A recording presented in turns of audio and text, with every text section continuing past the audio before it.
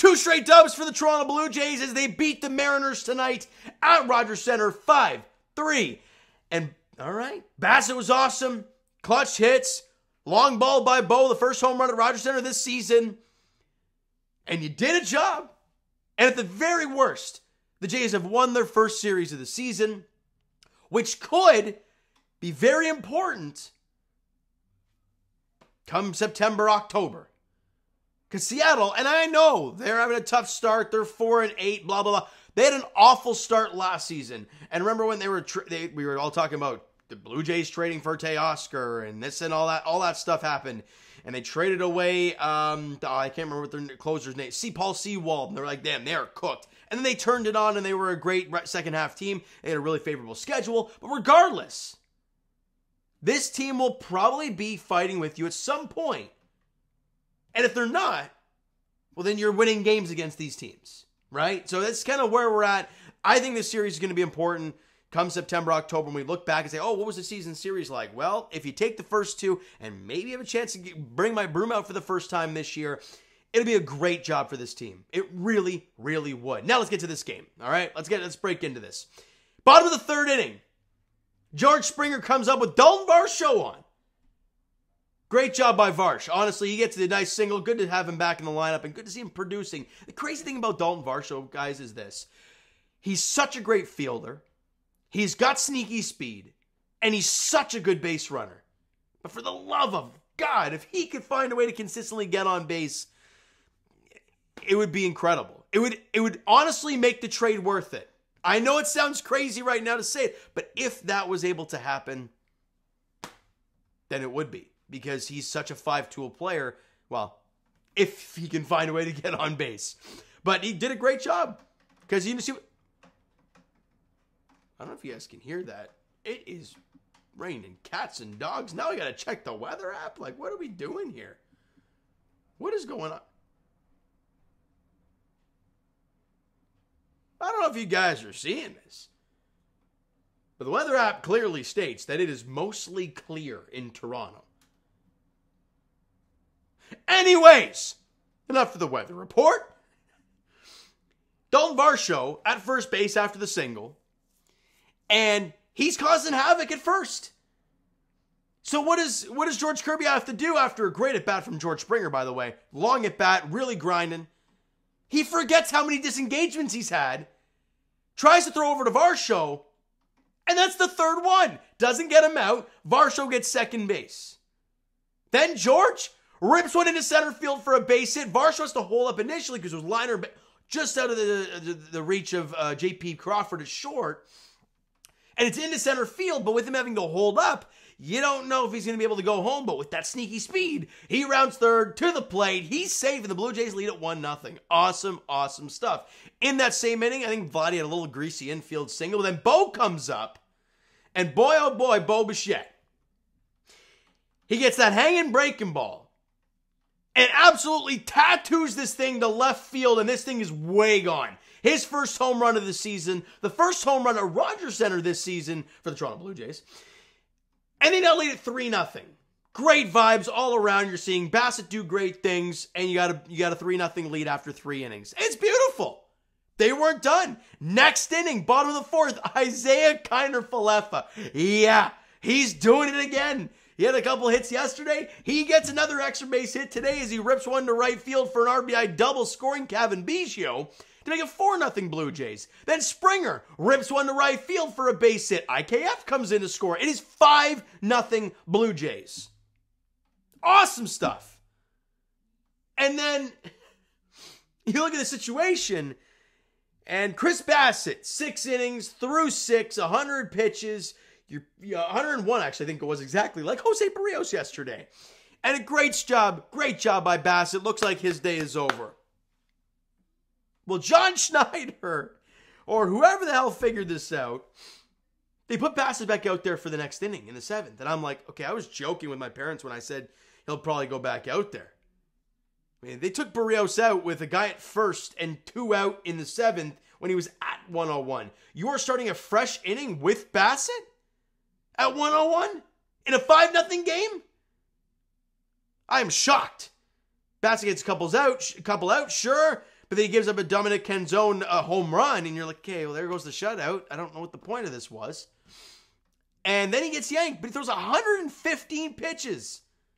115, the most by any pitcher, starting pitcher this season. I, do, I don't get it. I understand your bullpen's a little taxed. I understand that. And you don't have Swanson Romano. Sure. But I, I don't understand as to what the thought process, was behind keeping him out there. You have Nate Pearson, or I guess you don't. I don't know. Like, is he is he feeling a little something that he's not playing? They were able to pitch Trevor Richards today, but Chad Green had to go back out there for two consecutive games, and he had to pitch 20 plus again tonight. He threw 20 odd pitches yesterday. He threw 20, 20 odd pitches today. Like, there's something up here. I don't know what's going on. Why they didn't let Berrios go? And sure, if your bullpen's late, wouldn't you want Berrios to try and get through that seventh inning? I don't know. It feels very weird. Very, very weird what's going on with John. I, couldn't tell you. I was so lost when I saw that. And now you're up 5 1 after seven. Good stuff. Then the top of the eighth inning, you see, Tre- was it Trevor Richards who gave up the uh, home run? Yeah, it was Trevor Richards odds a two run shot to Mitch Haniger. And just like that's a 5 3 game now. And it it wasn't fun because now we're like, okay, a little clammy hands now. Chad Green goes out there and he's able to get that double play induced by or no, I guess started by Isaiah Kiner Falefa to end the ball game in the ninth inning as Chad Green gives you an inning in the third, no hits, a walk, a strikeout, and a clean save for him, his second on the season. Good job by Chad Green and the bullpen. Even though Trevor Richards, yeah, you don't really don't know what you're going to get from T. Rich, but regardless, whatever. Bassitt was awesome. They had 11 hits today, more extra base hits. It's a good night. Good night for the Blue Jays. It really was. Now, offensive stats. Let's go to it. Two for five for George Springer, a couple RBIs for him. He's starting to find it a little bit here, so that's nice to see. Vladdy 0 for 5 with a run uh, with a run scored. I kind of liked the at bats though. He did hit a couple to the warning track, hit a couple on on, his, on screws, but in the end, 0 for 5 is 0 for 5. Bo Bichette one for four, but who cares? It was a moon shot, two run shot. Had to run obviously an RBI as well, two RBIs on the two run shot for Bo. So he's now hitting over 200, but who cares? His batting average. Uh, Justin Turner rakes. What did I tell? I mean, not, again, it's so early in the season. I'm not going to gloat too much on this, but man, I made that video, the season preview, off season pre- or season review, off season preview last year, and I talked about the Justin Turner signing, and I brought up all these advanced stats, and I'm like, dude is in the he's clutch. He really is. Two for three today with the walk, on base three of the four times he came to this, hitting 324, the 442 on base to start the season. Again, these numbers are obviously in flux. They will come back down to earth, but to start the season, He's looked fantastic. He really has. Cavan Biggio, speaking of fantastic, two for three for him with a run scored in the game, hitting 290 with a 389 OBP. At a boy. Uh, an IKF, stud. Three for four with a run scored and an RBI for Isaiah Kiner Falefa, hitting 313 with a 389 OBP. Love to see it. 11 hits total for the Blue Jays, seven strikeouts. They walked twice. And Chris Bassitt, the hound on the mound, was brilliant. Six and two thirds, five hits, one run, eight Ks, four walks, one home run, unfortunately, but uh, it is what it is. Trevor Richards went in inning allowed, one hit, couple couple runs allowed. Obviously, in the two run shot, had a strikeout and a walk. And uh, Chad Green, as we talked about, inning of the third, one walk and a strikeout, picks up his second save on the season. N- not you can't say enough about what Chris Bassitt did today. You know, his first two games weren't great, ERA over seven, and he was masterful today. He really mixing his pitches up, awesome. Spotting that sinker, which had a little bit extra velo to it. He was hitting like 94 at some point in the game. Loved it. Loved his game today. The, the Bassitt Hound was in full effect tonight. Now on to tomorrow, as I really hope to bring out an accessory tomorrow. You guys know exactly what I'm talking about. Yusei Kikuchi gets the ball for the Blue Jays, and, and Logan Gilbert gets the ball for the uh, Mariners, and that's a very intriguing one. Obviously, Yusei Kikuchi's had very, very minimal starts against Seattle since obviously his former team, but he's been good against them. So we'll see how that goes tomorrow. And Logan Gilbert, uh, he's been their only good starter so far this season. ERA of 3.55, strikeouts 15, walks 2. He's been good. He's been great. So how's the Blue Jays offense going to look with a confident pitcher on the mound? Because they've been good the last two days, but how are they going to look tomorrow? We shall see, all right? So, you know what, guys? That is going to do it for this one. If you enjoyed the video and the game tonight, hit that like button. I do appreciate that. Hit the subscribe button if you haven't done so already. Comment down below your thoughts on the video, thoughts on the game, what you like, what you not like from today's game for the Toronto Blue Jays. Twitter, Discord, Instagram, and of course TikTok is down below, so follow up there if you haven't done so already. And I will talk to you guys uh, Raptors edition tomorrow night, 7:30 tip-off in Brooklyn against the Nets for their third last game of the season.